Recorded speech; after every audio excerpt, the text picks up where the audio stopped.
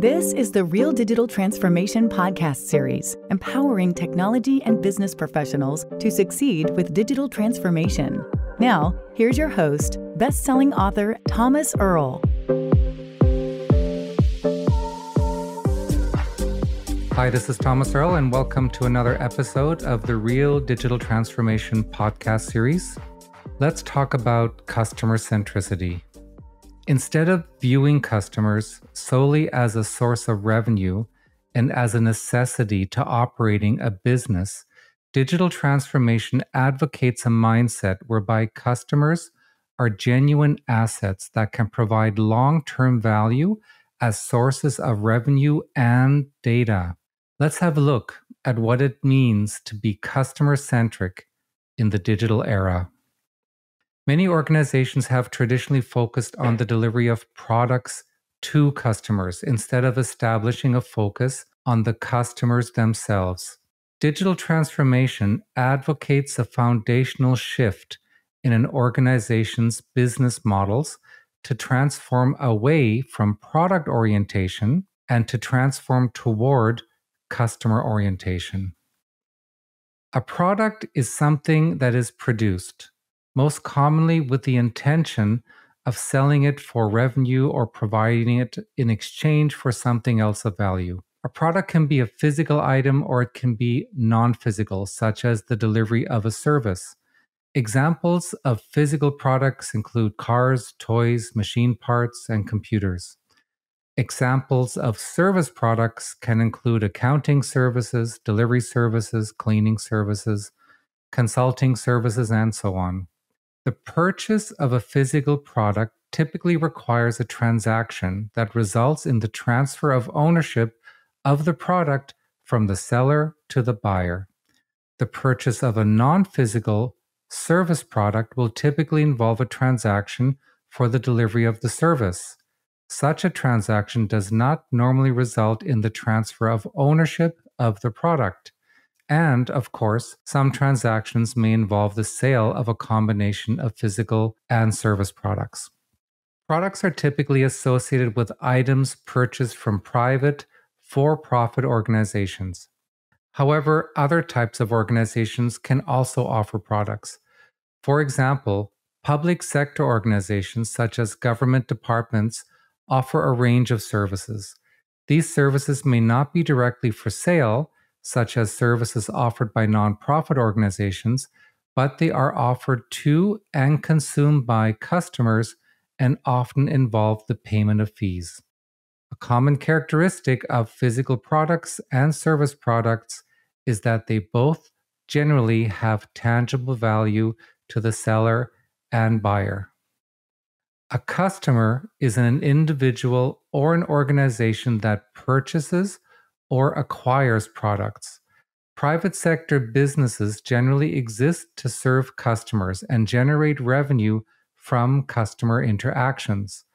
Public sector organizations often have the responsibility to offer services of value to a public community, generally with the understanding that these organizations exist as a result of the taxes paid by the public community they serve. Individuals and organizations are not solely customers. Being a customer is a role that is carried out when they order and acquire products.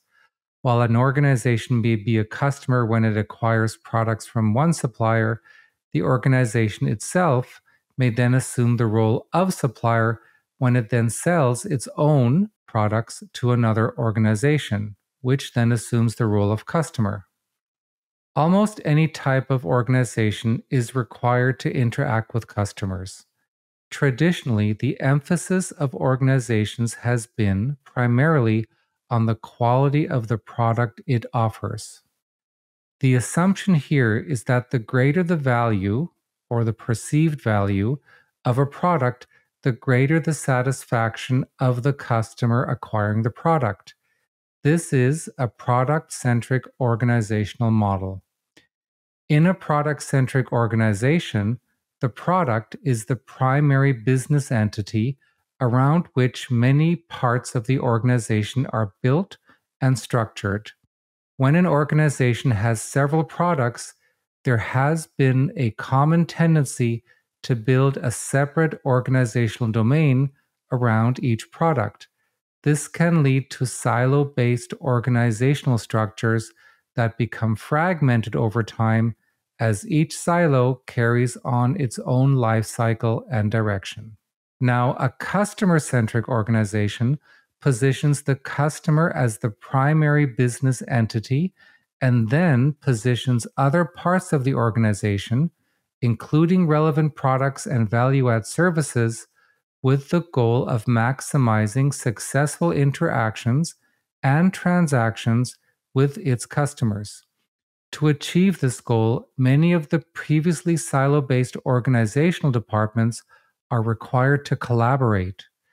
This then results in a broad organizational transformation that goes well beyond being extra nice to customers and extends into how technology is utilized to build customer centric automation solutions. A classic example is a product centric bank that has organizational silos for its current product portfolio, which may include savings accounts, mortgages, insurance, and investments. This product centric business model leads to customers having to interact individually with the bank when inquiring about or acquiring each product. A customer acquiring all four products may resultantly end up having to create and manage four separate customer accounts. A subsequent maintenance task, such as updating an address or phone number, may have to be repeated four times. This approach predictably leads to a suboptimal customer experience. In this example, customers may have felt as though they purchased four products from four different banks. This approach is also not ideal for the organization as it ends up with redundant and out of sync customer data and often an inability to gain genuine data analysis insights into customer trends and statistics.